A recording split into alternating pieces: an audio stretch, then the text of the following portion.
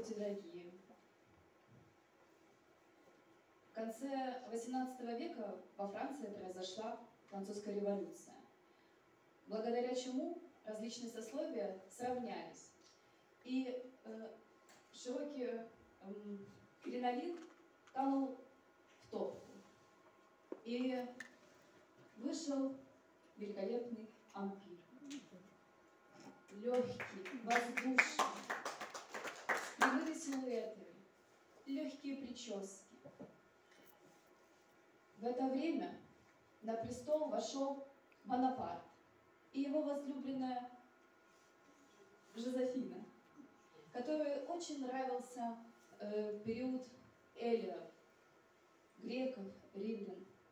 И вдохновленная этим чудесным периодом, она свои образы сделала именно такими, воздушными, легкими, как я.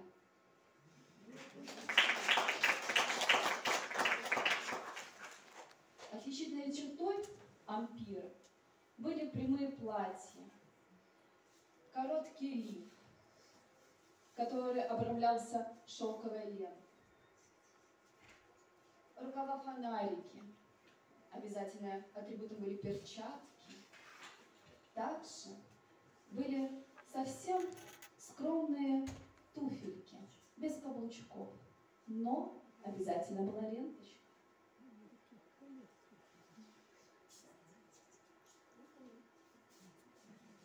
Волосы завивали в мягкие локоны, также украшали ленточкой и подбирали затылок.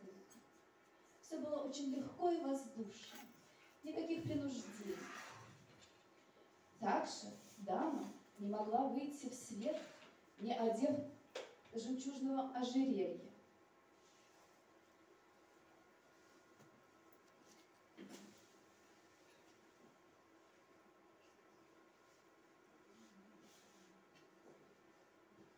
Считалось очень дурным тоном выйти в свет без жемчуга. Платья были прямые, подчеркивали фигуру и струились по телу. Но, к сожалению, после того, как Наполеон получил поражение в России, эпоха Наполеона ушла, и пришла мода романтизма Бидермайера. Это, роман... это эпоха, которую мы знаем все. Это эпоха Пушкина и Натальи Гончаровой. Добрый вечер. Добрый вечер. Э, когда свергли Наполеона, ушел ампир, как сказала Анна Филипповна, и пришла прекрасная эпоха Бидермайера. Далее возвращается на свое естественное место. Плечи становятся широкими, э, пышные рукава, узкая талия, широкий кринолин. Узкая талия, осиная, самый модный силуэт середины XIX века – это песочные часы. Дамы все разные. Есть полные дамы, есть дамы худые, все дамы разные, и всем нужна осиная талия. И где же нам ее взять? И что же нам делать? На помощь дамам пришли ловкие и хитрые модельеры. Что они придумали? Они придумали великолепные, роскошные рукава, очень широкие у плечей и узкие у запястий. Этот рукав назывался э, бараний окорок или жигок. Что еще какая уловка? Это были огромные кринолины, просто гигантские, 3 метра в диаметре. И это было нормально для бальных платьев, естественно, не для визитных. И вот представьте, огромные плечи, под которые, огромные рукава, под которые надевались пышные подрукавники, набитые пухом, огромные кринолины, а посередине Узенькая талия, утянутая корсетом, и любая, даже самая пышная дама казалась прекрасной и очень стройной. А, бальные платья невозможно было надеть э, на светский раут и на бал без перчаток. Это было абсолютно неприлично. Но что делать, если у дамы богатая коллекция перстней, колец? Как же дамы выходили из ситуации? Очень просто. Они накидывали на обнаженные руки и плечи шали и могли демонстрировать свои украшения.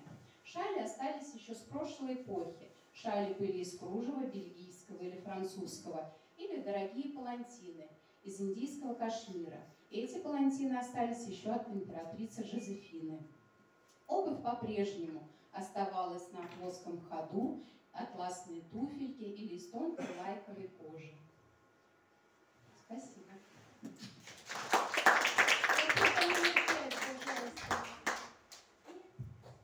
К сожалению, после гибели Пушкина уже к 60-м годам мода на кринолины ушла в силу того, что видите, портрет Натальи Пушкин, которая делала себе остинную талию, запечатлен еще с тех времен и эпох. И, пожалуйста, еще следующий кадр. О чем мы говорили? Осиная талия при таком кринолине будет у любой женщины, независимо от ее полноты и размеров. Вот. Но, к сожалению, это было не очень удобно. Если вы заметите даже на карикатуре, что чашечку кофе надо было подавать на большой лопаточке с длинной, с длинной ручки, иначе просто до нее дотянуться было нельзя. Поэтому, конечно, это было не совсем удобно. И уже 60-70-е годы 19 века мода уходит на кринолины и возвращается немножко более спокойная, не такая пышная. Но появилась такая мода, называлась фасон. Женщина должна была выглядеть как уточка или же английская буква «С». Что это значит? Во второй половине XIX века ушли корсеты и кринолины. И наш, вошла мода на силуэт уточки. Появились турнюры. Э, Не секрет, что мужчинам всегда нравится, когда у женщины есть здесь. Ну а если нет, что же делать? Нужно искать выход. Выход нашел мужчина, французский модельер. Он увидел однажды служанку, которая подметала пол. И для удобства она заправила юбку сзади. И, судя по всему, ему вид сзади очень понравился, и возникла идея турнюра. Турнюр представляет собой подушечку, э, которая была набита женским волосом, соломой или ватой. Женщины одевали ее ниже талии, по, под платье, и таким образом появлялось То, что надо. то, что надо, то, что нужно было добавить, то, что нравилось мужчинам.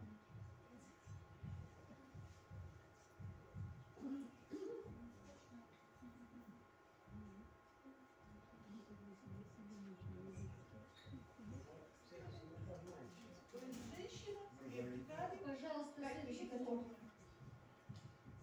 Турнюры э, эпоха их продлилась недолго, около 20 лет, и исчезла с развитием железных дорог и транспорта, потому что сидеть в турнюре было крайне неудобно.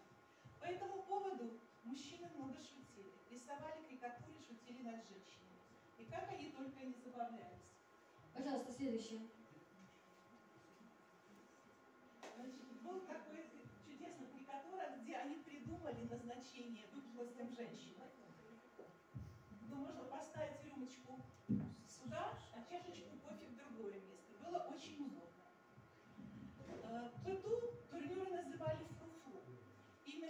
Мужчины слышали шелест шелковых тканей, когда женщина двигалась.